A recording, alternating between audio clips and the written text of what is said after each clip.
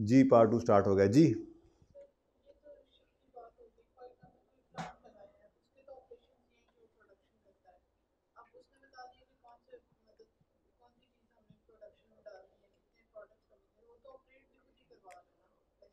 नहीं बेटा, वो चलाता तो ये लेसी है ना। बंदे लेसी ने रखे हुए हैं। चलाना किस वक्त है, बंद किस वक्त? उन्हें सिर्फ़ यही कह दिया कि भाईजान, इससे जो है ना, आपने चॉकलेट्स ही बनानी है। ठीक है, आपने चॉकलेटी अंडे नहीं बनाने। मिसाल दे रहा हूँ, ऐसे ही पता नहीं किस तरह निकल गई बात। तो बहरहाल, वो सिर्फ़ ये कहता है कि ये बनाओ, ठीक है? और बहरहाल स्टैंडर्ड ने एग्जांपल ऐसे ही दी हुई है कि वो राइट टू ऑपरेट अगर उसके पास है तो चाहे उसने कुछ कदगन, कुछ पाबंदियाँ लगाई हुई हैं तो वो लीज ही रहेगी। असल कहानी ये है, ये तो आगे तफसीलात हैं एग्जाम्पल्स हैं, असल कहानी तो ये है कि right to direct the use कब है? लेसी के पास कस्टमर के पास जब how and and for what purpose is not predetermined ये तो हो गया ना आइडियल केस दूसरा case how and for what purpose is predetermined but customer has right to operate तो चाहे how and for what purpose में प्री डिटर्मिन कर भी दिया है, अगर ऑपरेशन सारे लेसी के पास हैं तो ये फिर कस्टमर के पास लेसी तो बात लेसी तो बाद में कहना चाहिए ना, गलत बात कर रहा हूँ मैं, आप मुझे क्यों नहीं रोक रहे? कस्टमर है अभी तो अभी डिसाइड करेंगे कि लीज है, जब लीज है तो फिर लेसी लेसर ठीक है ना? अच्छा तो how and what and for what purpose is predetermined how and for what purpose is not predetermined ये तो हो गया आइडियल तो कस्टमर जो है, उसके पास राइट है सब कुछ करने का और कोई प्री डिटर्मिन काम नहीं किया हुआ हमने तो ये लीज है तो कस्टमर इज़ अ लेसी फिर फिर अगली बात. दूसरा how and for what purpose is predetermined लेकिन राइट टू ऑपरेट किसके पास है? कस्टमर के पास. तो फिर ये लीज है और कस्टमर क्या बन जाएगा? लेसी ठीक है? तीसरा केस एग्ज़ाम्पल पहले पढ़े. A customer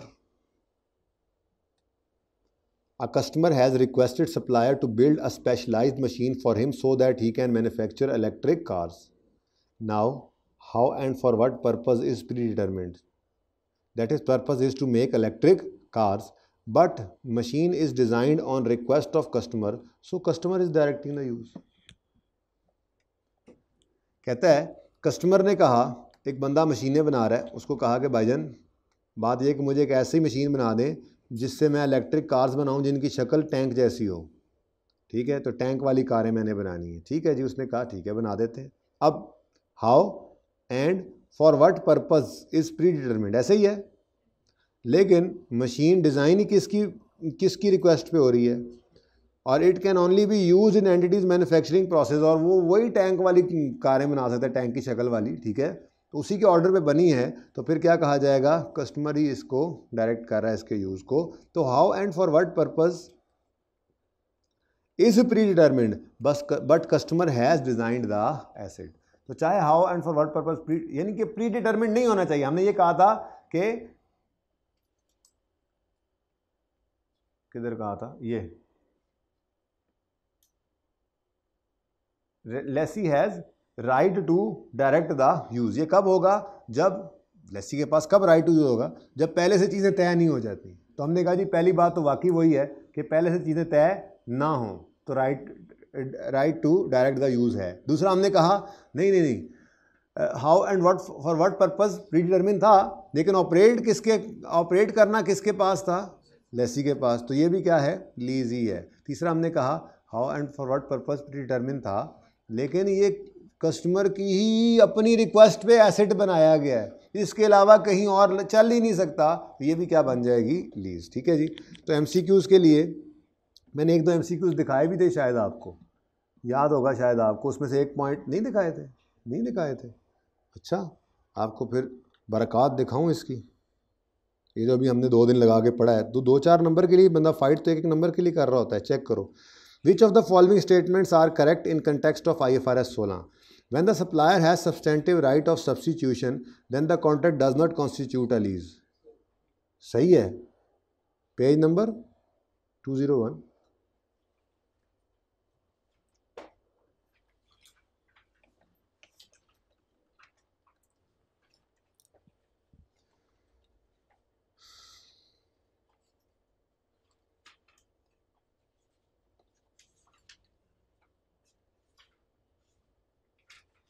201 पेज नंबर कौन सा था जहाँ पे हम पहले फिर रहे थे?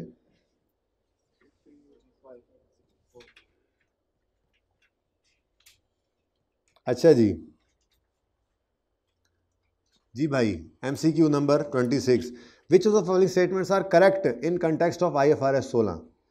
When the supplier has a substantive right to substitute जब सप्लायर के पास सब्सटेंटिव राइट टू सब्सिट्यूट हो then the contract does not constitute a lease तो लीज लीज नहीं है। सही है? सही तो है। बिल्कुल सही है। हंड्रेड परसेंट सही है।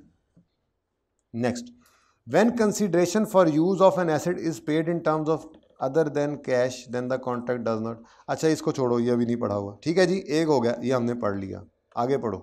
मैं M C Q twenty five यानी हमें पता लग गया। एम सी क्यू में यूज़ हुआ ना पॉइंट अभी पूरा तो नहीं ना पढ़ा हुआ। जो जो रहता है वो भी देख लेते हैं ठीक है?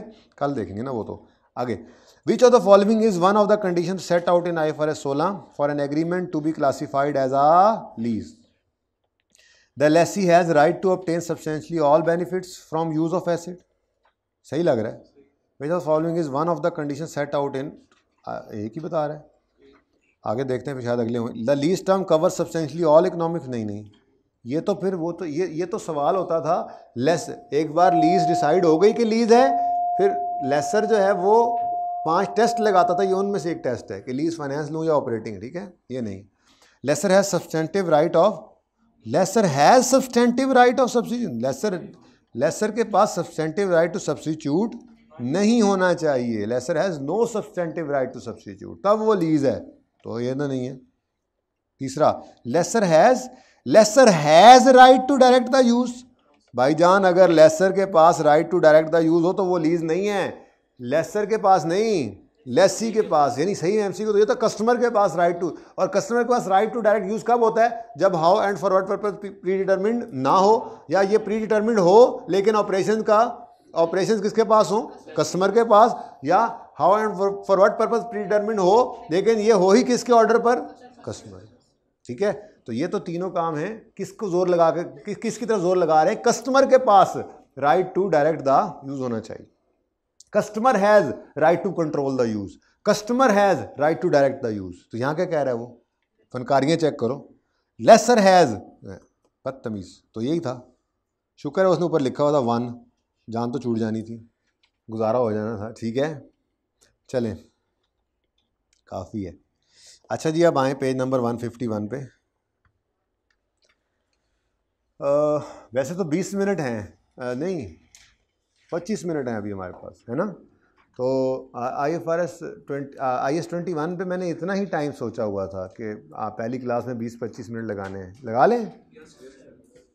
क्या कहते हैं आप लोग? ठीक है लगा देते हैं। लगाने हैं तो फिर ये ज़रा फिर होमवर्क में करने हैं ये दो सवाल।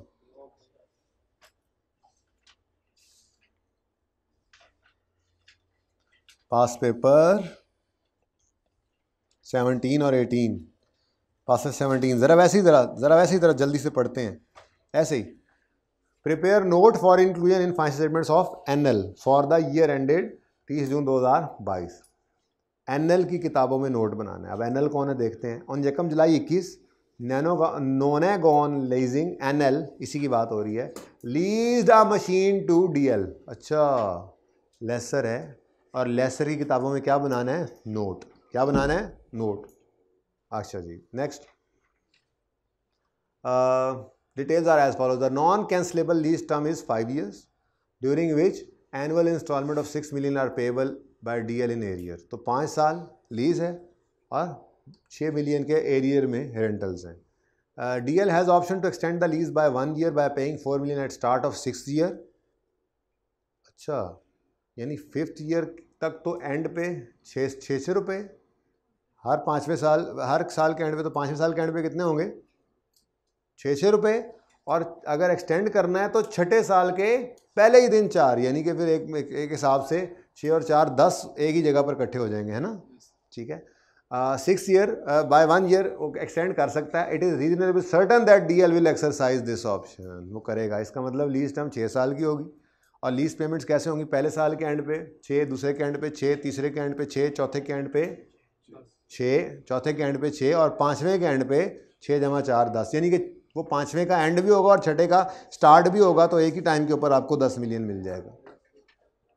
N L estimates the residual value of machine N L कौन है? Lessor estimates the residual value of machine at the end of lease term to be 10 million, out of which DL has guaranteed 8 million. DL expects that machine will have market value of 5 million at the end of lease term. DL कौन है? लेसी उसको लगता है कि market value जो है वो पाँच मिलियन होगी एंड पर लीज के। गारंटी कराया है तीन तो ये गारंटी कराया है आठ तो ये तीन रुपए क्या हैं? लेसी के सवाल में एक्सपेक्टेड टू बी पेड हैं। लेकिन हम किसका सवाल कर रहे हैं? तो इसको इग्नोर करना है। तो आई का सवाल है, बड़ा रिसेंट सा सवाल है, इसमें ज़्यादा चीज़ें दी होती हैं ताकि आप इग्नोर करें। पता हो आपको कौन सी चीज़ क्या है। आप लोग अब इसमें खो चुके हैं, घुस चुके हैं इस टॉपिक के अंदर, ठीक है? बस डोंट लेट इट गो जाने नहीं देना इसको अब, ठीक है?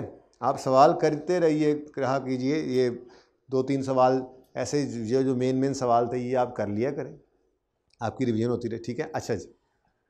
तो हमने क्या करना है? जी आर वी उन्होंने कहा जी लीज टर्म पे एस्टिमेटेड दस है और जी आर और आर वी ये जी आर वी कितना है? आठ। तो बाकी दो क्या है? यू जी आर वी और अगली लाइन को हमने क्या करना है? इग्नोर करना है लेसर के सवाल में। फिर N L incurred I D C of one million हाँ जी।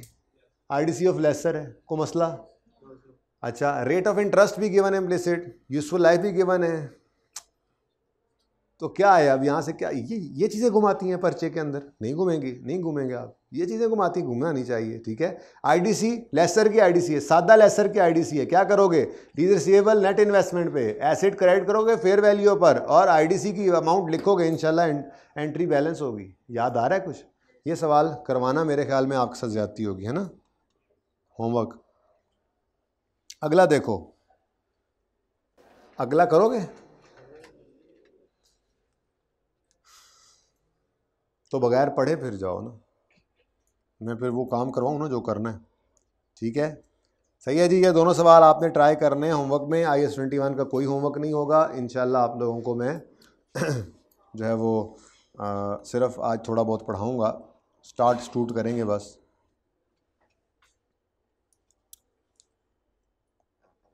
जी सही है? तो कौन कौन सवाल होमवर्क में जी? सत्रह और अठारह।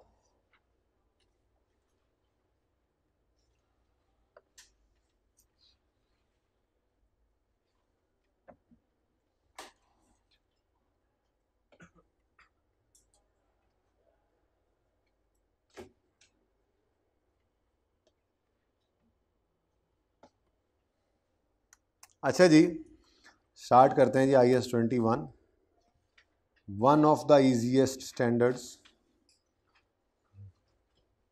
I S twenty one deal करता है जी फॉरेन करेंसी की ट्रांजैक्शंस के साथ.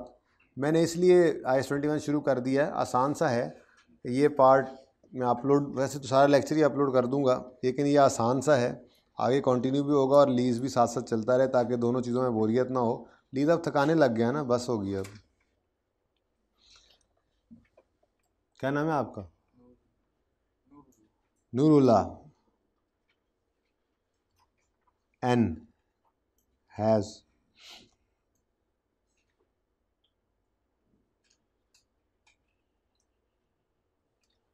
आजकल डॉलर का क्या रेट चल रहा है? One US dollar one US dollar दो सौ अस्सी का है।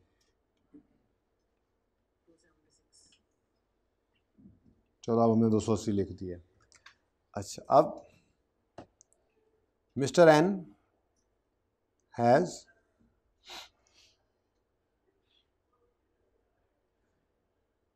पाँच डॉलर्स इन हिज पॉकेट। बड़ा अमीर आदमी है यार। भाई ये को अकाउंटिंग थोड़ी हो रही है।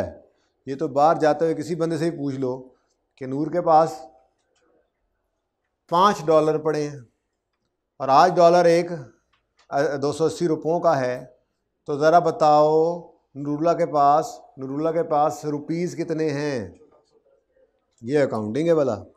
आंसर क्या है जी? मेरा क्वेश्चन था कि नूरुल्ला के पास कितने रुपीज़ पाकिस्तानी रुपीज़ पड़े हैं? तो पाकिस्तानी रुपीज़ निकालने के लिए आपने कहा जी, पाँच डॉलर हैं। इनको लेके जाओ मनी चेंजर के पास और उससे जाके कहो, भाईजान, इधर से मैं एक डॉलर फेंकूँगा, तुम उधर से दो सौ अस्सी रुपये फेंकना। मैं फिर एक डॉलर फेंकूँगा, तुम दो सौ अस्सी रुपये फेंकना। फिर मैं एक डॉलर फेंकूँगा, तुम दो सौ अस्सी रुपये फेंकोगे। तो मेरे पाँच डॉलर तुम्हारे पास और तुम्हारे दो सौ अस्सी पाँच दफ़ा मेरे पास। Rupees two eighty answer is fourteen hundred माशा सुबहान अल्लाह। बर्गर खा सकते हैं हम जाके सारे। थोड़ा थोड़ा करके।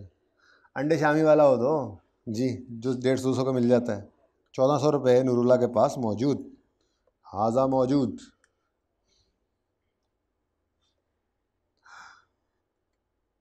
ये चौदह सौ रुपये तुम्हारे हज़म नहीं हो रहे, जेब में तुम्हारी। जी। कोई मुश्किल काम तो नहीं किया जी हमने? और बोलो, कोई मुश्किल काम तो नहीं किया? अल्लाह करे दूसरे तक पहुँच जाए दूसरा काम फिर कर लेंगे। नहीं तो एक तो हो गया।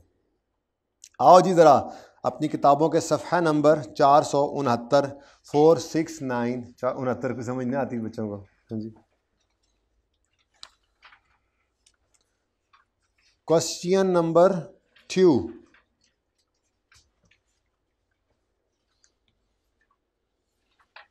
बशीर वाला सवाल। पहुँच गए सब?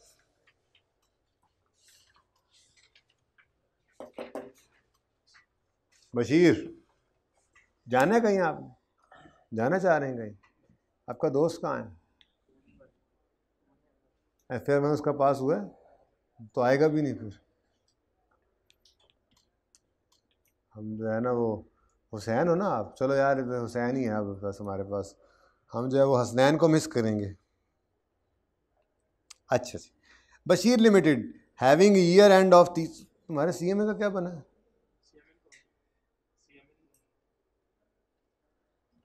मतलब बंदा दुआ तो कर लेता, तुमने पेपर से पहले ही कह दिया था। ये बहुत बुरी बात होती है।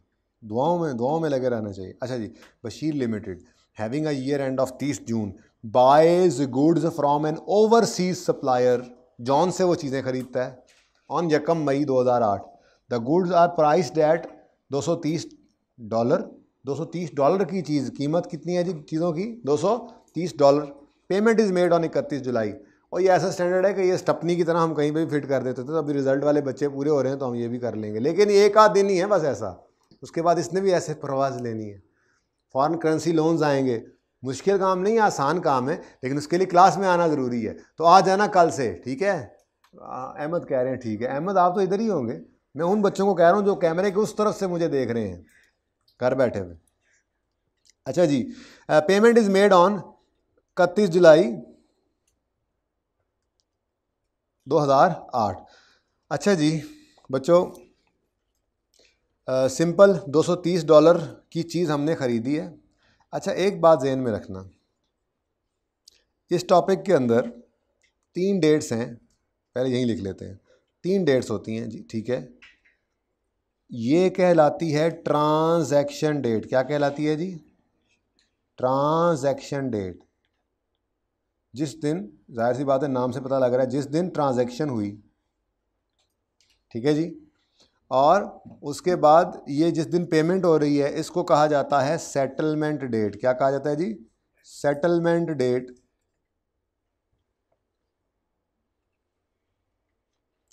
अच्छा अब अगर ट्रांजैक्शन डेट में और सेटलमेंट डेट के दरमियान में आपका ईयर एंड आ जाए, बच्चों, अगर ट्रांजैक्शन डेट में और सेटलमेंट डेट के दरमियान में आपका ईयर एंड आ जाए तो उसको फ़िलहाल ईयर एंड कह लो, वैसे उसको ट्रांसलेशन डेट भी कहते हैं। क्या कहते हैं जी? ट्रां चल लिख लेंगे, ठीक। फ़िलहाल ये दो बातें पता लग गई। क्या? जिस दिन ट्रांजैक्शन होगी उसको ट्रांजैक्शन डेट कहेंगे और जिस दिन पैसे पे कर देंगे उसको सेटलमेंट डेट कहेंगे, ठीक है? बच्चे आज इतने थोड़े हैं कि मैं एक एक को देखी एक एक की हरकत तो सकनात नोट कर रहा हूँ, देख रहा हूँ। बोर भी हो रहा हूँ थोड़ा सा। उन्हें कहो, जल्दी से आ जाए अब। अच्छा जी, कोई पता नहीं, एन नहीं रह गए सर। बाकी सारे एफ़ आर वन जी नज़र आन हूँ। अच्छा जी। ओके। मैसेजों से तो पता लग रहा था कि ठीक आ रहा है रिज़ल्ट बच्चों का। पास पास वाले थे, लेकिन जब आई के स्टेटिस्टिक्स देखें तो थोड़ी परेशानी हुई है। अब अल्लाह करे, फिर वो यही कह सकते हैं साढ़े मेरे वाले ना ही हूँ फिर। फेल होने जी the prevailing exchange rates are यकम मई जिस दिन ट्रांजैक्शन हुई, उस दिन रेट कितना है? ये देखो जी स्केल है मेरे पास, ठीक है? उस दिन कितना रेट है जी? एक सौ पच्चीस। उसके बाद तीस जून ईयर एंड आ रहा है। इस पर भी रेट गिवन है। पता नहीं ईयर एंड क्यों बीच में आ गया? अच्छा। अच्छा यानी कि यानी कि हमारा साल जब एंड हुआ तो अभी तक हमने अपना ये कर्ज़ा उतारा नहीं था। और वो सारे ही हुक्मरान अपनी अपनी बारी पे आके जो बात कहते होते हैं, डॉलर में एक रुपए का इजाफा हो तो इतना कर्ज़ा बढ़ जाता है, वो वाला चक्कर होगा। बशीर ने भी चीज़ें ख़रीदी हैं उधार पे। बशीर ने जो चीज़ें उधार पे ख़रीदी हैं तो बशीर पहली एंट्री क्या करेगा यकम मई 2008 पर? यकम मई 2008 पर बेटा गुड्स हैं तो इन्वेंट्री डेबिट। वैसे इस टॉपिक में हमने ना परचेजेज नहीं, इन्वेंट्री किया करना है, ठीक है ना? परपैचुअल वाला। वैसे भी अब आप बड़े हो गए, आइंदा ऐसे ही किया करेंगे, ठीक है ना? परचेज ऑफ़ गुड्स हैं तो इन्वेंट्री डेबिट और कैश नहीं कैश ही तो नहीं है। क्रेडिटर्स क्रेडिट सिंपल एंट्री है को मसला? इन्वेंट्री डेबिट क्रेडिटर क्रेडिट अब इधर देखिएगा, कितने डॉलर की चीज़ें थी? 230 और जिस दिन ये चीज़ें ख़रीदी हैं, उस दिन का ही रेट लगेगा ना स्पॉट रेट स्पॉट रेट कहते हैं इसको, ठीक है? तो इस दिन रेट कितने एक सौ पच्चीस। एक डॉलर कितने रुपए का है? एक सौ पच्चीस रुपये का। जी। Two eight seven five zero जी, हमने परचेज गुड्स की परचेज रिकॉर्ड कर लिया ठीक है? इतना आसान से लग रहा है ना स्टैंडर्ड है भी ऐसा ही। Okay now year end has come year end आ गया। देखो ना, उसने क्या बोला है? उसने नहीं बोला ईयर एंड क्या है? ये लिखा तो हुआ हैविंग ईयर एंड ऑफ़ तीस जून। तो यकम मई को चीज़ें खरीदी, तीस जून पर ईयर एंड आ गया ना 2008 में, ठीक है? और वो कह रहे record journal entries for these transactions अब तीस जून आ गया बच्चों। अब तीस जून पे आप ने चूँकि अभी तक पैसे वापस नहीं किए तो आपको एक टेंशन होगी। किस बात की? किस बात की टेंशन होगी? क्रेडिटर इज़ अ लाइबिलिटी ना? अगर तो ये पाकिस्तानी रुपीज़ में ही पे करनी थी तो फिर मसला नहीं था। ठीक है? मसला क्या आ रहा है कि हमने डॉलर्स के अंदर ये पेमेंट करनी है। कल को जॉन को हमने पाकिस्तानी रुपीज़ नहीं भेजने, बल्कि मनी चेंजर के पास जाके अपने रुपए देकर उससे डॉलर ख़रीदने पड़ेंगे और डॉलर ख़रीद कर फिर बेचने, भेजने पड़ेंगे जॉन को। मैं वैसे मिसाल के तौर पर समझा रहा हूँ, वरना डायरेक्ट भेजे जा सकते हैं, भेजे जाते हैं डायरेक्ट, ठीक है? अब मामला ये है कि हमें, हमारे दिमाग के अंदर दो सौ तीस डॉलर जड़े हुए हैं कि वो दो सौ तीस डॉलर्स हमने भेजने हैं किसको? ओवरसीज सप्लायर को। अब मुझे बताओ, अगर डॉलर का रेट बढ़ गया, यानी पहले अगर एक डॉलर का एक सौ एक सौ पच्चीस रुपये का एक डॉलर आता था, अगर अभी एक सौ तीस रुपये का लेट से एक डॉलर आने लग जाए तो फिर हमें खुशी होगी या गम होगा? वही बात मैं कह रहा हूँ कि हर हुक्मरान आके जो बात करता था कि डॉलर एक रुपया अगर बढ़े तो हर बंदे के ऊपर इतना कर्जा बढ़ रहा है, पाकिस्तान का कर्जा इतना बढ़ जाता है, उसकी क्या वजह थी? फॉरेन करेंसी का लोन है ना? ठीक है? तो फॉरेन करेंसी अगर एक्सचेंज रेट हमारा मतलब हम, हमारा मनी डिप्रिशिएट हो रहा है रुपीज़ तो फिर उसकी वजह से हमारा कर्जा बढ़ रहा है। अब इसको चेक करते हैं, बढ़ा या कम हुआ। मुझे बताइए 230 डॉलर्स अभी जा नहीं रहे लेने, लेकिन अगर अभी लेने जाएँ, इस ईयर एंड पे 30 जून पे खड़े होकर लेने जाएँ तो एक डॉलर कितने रुपए का है? तो 30 जून 2008 पे एक डॉलर कितने का हो गया? एक सौ चौंतीस। ठीक है जी? और ये क्या आता है आंसर? थ्री? अच्छा अब ये देखो, इसको आपने लड़ाई करवानी है इसके साथ। क्या मतलब? आप ये कहेंगे कि अट्ठाईस हज़ार सात सौ पचास की हमारी लाइबिलिटी थी। ये लाइबिलिटी बढ़कर हो गई अठ तीस हज़ार आठ सौ बीस रुपये की। तो लाइबिलिटी है ना? लाइबिलिटी बढ़े तो खुशियाँ चढ़ जाती हैं आपको। गम सवार होता है। गम सवार होता है। एंट्री कैसे बने? वैसे डायरेक्ट एंट्री ये करनी चाहिए थी कि जी इस गम को, गम का नाम रखा जाता है एक्सचेंज लॉस तो एक्सचेंज लॉस डेबिट और creditor credit P N L debit exchange loss से एक्सपेंस से पी एन एल डेबिट और क्रेडिटर क्रेडिट लेकिन मैं आपको आसान तरीका समझा रहा हूँ एंट्री करने का। तसल्ली से देखो। यहाँ तक कोई मसला तो नहीं है ना? ये समझ आया है ना? हमारी लाइबिलिटी अट्ठाईस सात सौ पचास से बढ़ के तीस आठ सौ बीस हो गई है। बोलो, अब इस लाइबिलिटी को हमने, यह तीर का रुख भी क्या है? अट्ठाईस से तीन सौ, अट्ठाईस से तीस पे लेके जाना है तो लाइबिलिटी को बढ़ाना है कि कम करना है? बढ़ाना है कि कम करना है? लाइबिलिटी बढ़ाने पर डेबिट करेंगे या क्रेडिट तो लाइबिलिटी क्रेडिट क्रेडिटर क्रेडिट हो गया। कितने से? कितने से? 2070 से। और ये क्या है? लाइबिलिटी का बढ़ना गम की बात है तो ये एक्सचेंज लॉस ये सीधा डायरेक्ट जाएगा प्रॉफिट एंड लॉस के ठीक है? कोई मसला? यहाँ तक को मसला बचो? नेक्स्ट उसके बाद क्या हुआ जी? वो कहता है द गुड्स प्राइस अच्छा पेमेंट इज़ मेड ऑन 31 जुलाई 2008 ऐसा ही आसान स्टैंडर्ड है। देखो, पहला सवाल भी हो गया। 31 जुलाई 2008 पर पेमेंट कर दी। अब पेमेंट के दिन, भाईजान, घर से एक सौ पच्चीस रुपये नहीं लेकर निकलेंगे एक डॉलर के लिए, या इवन एक सौ चौंतीस नहीं लेकर निकलेंगे, बल्कि हम इस दिन का रेट देखेंगे, घर से डॉलर क्योंकि हमने आज बाज़ार से डॉलर ख़रीदने और जॉन को भिजवाने हैं। और बात समझ आ रही है? तो इसका मतलब इकतीस जुलाई पर हमने करनी क्या है? पेमेंट अच्छा पेमेंट से होगा क्या? क्रेडिटर डेबिट हो जाएगा और कैश क्रेडिट होगा। लेकिन ये देखो ज़रा, एक मिनट के लिए रुक कर ज़रा देखो। तरीका क्या होगा? क्रेडिटर डेबिट करके कैश क्रेडिट करो, लेकिन दरमियान में एक लाइन छोड़ दो। अब, सबसे पहला काम पेमेंट डेट पर आपने क्या करना है? सेटलमेंट डेट पर सबसे पहले कैश को लिखना है, ठीक है? आपको कितने डॉलर्स अभी ख़रीदने हैं जॉन को भेजने के लिए? 230 और आज 31 जुलाई पर एक डॉलर कितने का हो गया? सुबहान अल्लाह एक सौ इकतीस का। तो इंटू वन थर्टी वन तो आंसर क्या आता है? Three zero one three zero अच्छा थ्री ज़ीरो वन और क्रेडिटर कितना पड़ा था आपका? अब यहाँ से दो तरीके हैं। या तो आप यूँ देखें, अट्ठाईस हज़ार सात सौ पचास प्लस दो हज़ार सत्तर, आपकी मर्ज़ी है। या उससे बेहतर और आसान तरीका क्या है? यहाँ पर उठाकर ले गए थे ना तो यहाँ पे पड़ा हुआ अब इसको यहाँ लिखो, तीस हज़ार आठ सौ बीस। अब ज़रा दोबारा इधर आके देखो।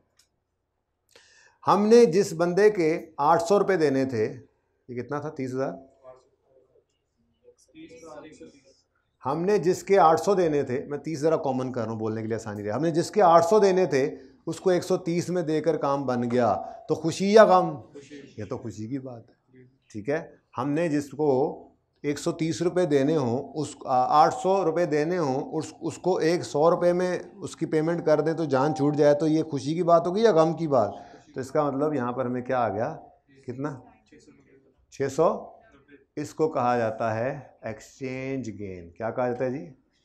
और ये भी कहाँ जाता है? ये भी सीधा प्रॉफिट एंड लॉस में जाता है। ठीक है जी? ये मैंने बैलेंसिंग निकाला है। ये टॉपिक है जी बस सारा ही इतनी सी बात है। अब ये है ट्रांजैक्शन डेट। ये क्या है? Transaction date.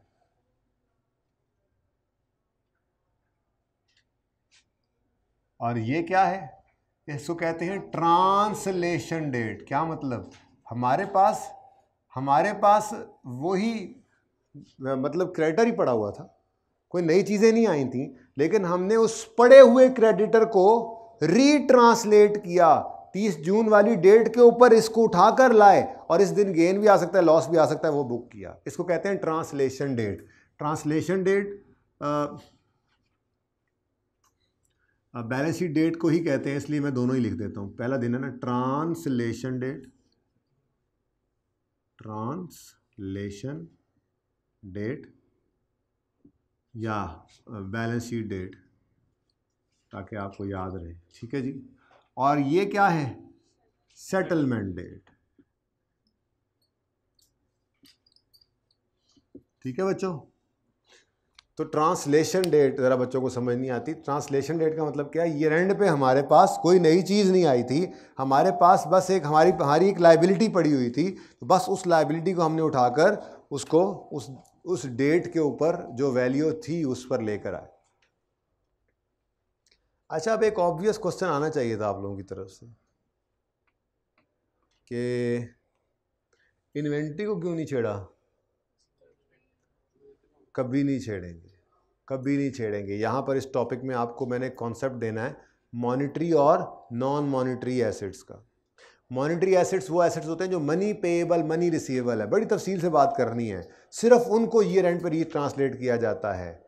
जो मनी पेएबल मनी रिसीवेबल है, सिर्फ़ उनको ये रेंट पे रीट्रांसलेट किया जाता है। और जो लैंड है बिल्डिंग है प्लांट मशीनरी है इक्विपमेंट है फर्नीचर यानी कि कोई आपका पीपीई है या इवन इन्वेस्टमेंट प्रॉपर्टी है, इनको कभी भी आप रीट्रांसलेट नहीं करते। ये नॉन मॉनिटरी एसेट्स कहलाते हैं। ये बिक कर तो कैश ला सकते हैं, यानी कि उधार पे बेचा तो रिसीवेबल हो सकता है, लेकिन ये खुद मनी नहीं होते हैं। ठीक है ना? बहरहाल इस पर तफसील से बात करेंगे। फ़िलहाल इतनी सी बात इन्वेंट्री को हमने नहीं छेड़ा और हमने क्रेडिटर को छेड़ा, क्योंकि इन्वेंट्री कोई मनी रिसीवेबल नहीं है। इन्वेंट्री तो खुद खुद खुद मनी नहीं है। हाँ अगर उधार में बेचें, एक डेटर बन जाए तो फिर वो एक मॉनिटरी एसेट बनेगा। ये तफसील से बात करेंगे। पहला दिन मैं किसर चल पड़ा? छोड़ो छोड़ो, माफ़ कर दो मुझे। प्रॉफिट एंड लॉस अकाउंट देखो कैसा बनेगा। प्रॉफिट एंड लॉस अकाउंट के अंदर आपको एक्सचेंज लॉस भी नज़र आएगा। इकतीस दिसंबर दो हज़ार, इकतीस दिसंबर ही था ना? तीस जून है, चलो तीस जून कर लो। तीस जून दो हज़ार आठ पर आपको एक्सचेंज गेन नज़र एक्सचेंज लॉस नज़र आएगा कितना? टू ज़ीरो और इसी दिन आपको, इसी इसी इसी इनकम स्टेटमेंट में आपको एक्सचेंज गेन भी नज़र आएगा। खुदा का खौफ करो, तीस जून के बाद है, तीस जून के बाद है। एक्सट्रैक्ट्स बना रहा हूँ जी, ठीक है? उसके बाद बैलेंस शीट के एक्सट्रैक्ट्स की बात करें स्टेटमेंट ऑफ़ फाइनेंशियल पोजीशन तो उसके अंदर आपको करंट एसेट्स के अंदर इन्वेंट्री नज़र आएगी। और इन्वेंट्री कितने पर होगी? अट्ठाईस हज़ार सात सौ इसको नहीं छेड़ना। ये आ, हमारा नॉन मॉनिटरी एसेट है two eight seven zero seven five zero ठीक है जी। और करंट लाइबिलिटीज़ के अंदर जो क्रेडिटर्स हैं वो कितने पर नज़र आएँगे? तीस हज़ार आठ सौ बीस। लो जी ये टॉपिक है अब मैं और क्या करूँ? है जो यही अब फिर क्या हो सकता है? तीस हज़ार आठ सौ? बीस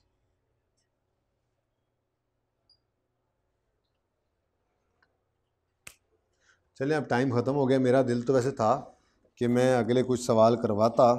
आप ये क्वेश्चन नंबर थ्री होमवर्क में करें फोर होमवर्क में करें फाइव भी करें इन हो जाएँगे।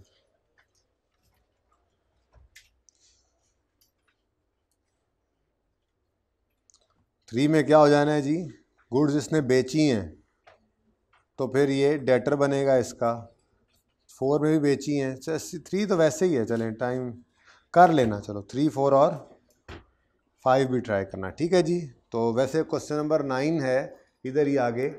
लेकिन उसमें ना रूल थोड़ा उल्टा के लगाना होता है। वो अब चूँकि टाइम नहीं मिला मुझे बताने का, इसलिए ये अभी फ़िलहाल आप ना करो। बस यही क्वेश्चन कर रहा हो आप लोग। क्योंकि असल में वो भी होमवर्क है ना? आई एफ़ आर एस सोलह के दो पास पेपर्स हैं। तो ये दो दो मिनट के सवाल हैं, तीन तीन मिनट के, ये कर लेना, ठीक है?